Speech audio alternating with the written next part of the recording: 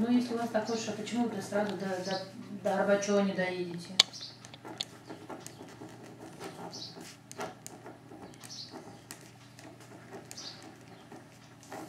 Ничего.